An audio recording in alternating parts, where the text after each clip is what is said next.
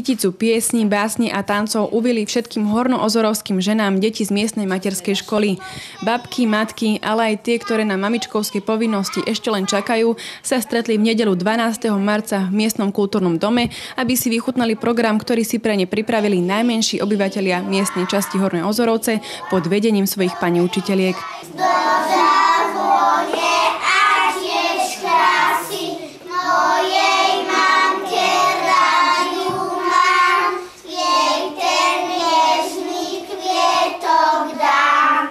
Úctiť prítomné dámy a podarovať im krásny kvietok prišiel nielen predseda občianskeho výboru Juraj Pastorek, ale aj zástupca primátora mesta Peter Bulík.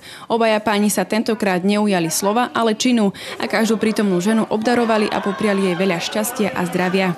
Kultúrny program pre prítomné ženy bol však oveľa bohatší.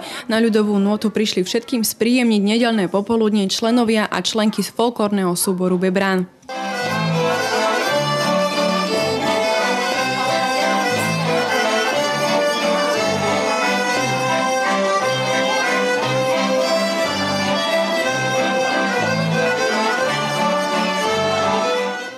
Príjemné piesne a tance v ich podaní ocenila celá sála a spolu s nimi si veru aj zaspievali tie najkrajšie ľudové piesne, počas ktorých bolo pre hornozorovčanky pripravené aj chutné občerstvenie. V pokojnej nedelnej atmosfére sa niesol aj zvyšok tohto pekného stretnutia.